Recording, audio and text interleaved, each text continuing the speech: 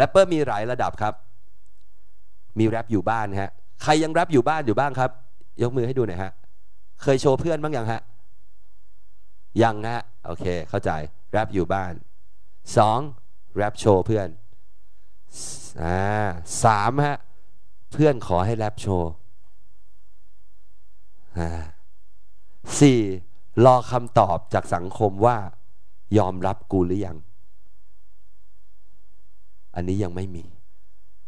ทุกบทที่ผมพูดมาหมายความว่าแรปอยู่บ้านแรปไปฮะแรปแม่งเข้าไป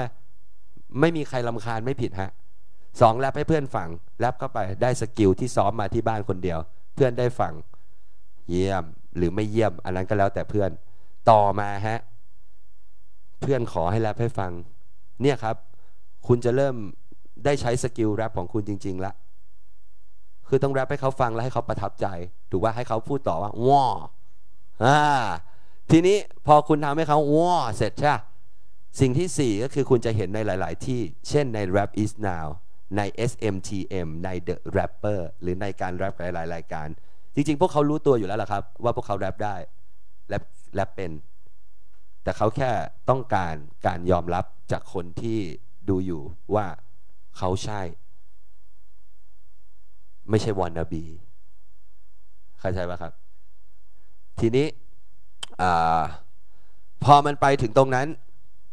คนที่ไม่ได้ไปประกวด เกิดการคิดว่า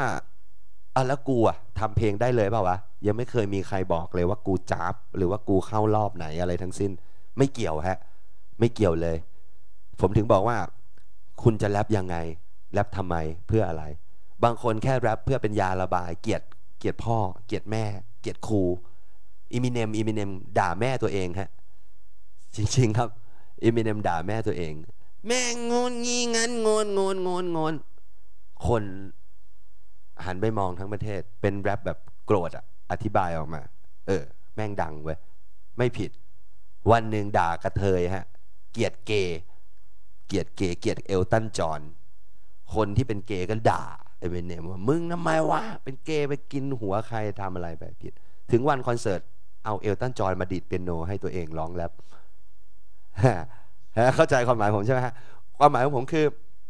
คุณ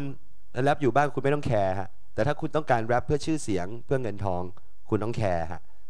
คุณต้องแคร์ว่า คุณจะแต่งเพลงนี้มา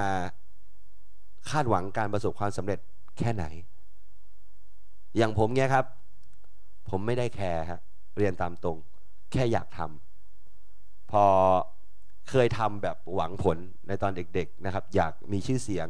อยากประสบความสำเร็จ อยากอยากอยากรู้ว่าไอสิ่งที่เราทำเนี่ยมันตอบโจทย์ไหมไปลองมาแล้วฮะโอเค คนรู้จักมีคนร้องตามเพลงเราแหวเฟี้ยว แค่นั้นแหละฮะแล้วก็ความรู้สึกเหล่านั้นก็หายไป เหมือนเวลาเราร่วมเพศเสร็จอะฮะเราจะเสร็จแบบเดียวนะฮะแล้วเดี๋ยวเราก็จะอยากทำอย่างอื่นต่อ เช่นกัน พอผมมีความรู้สึกนั้นปุ๊บ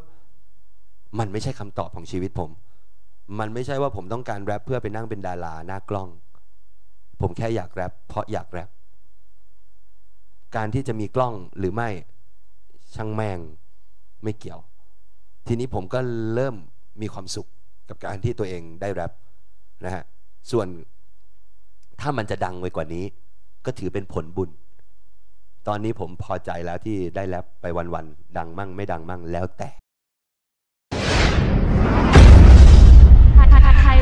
TV.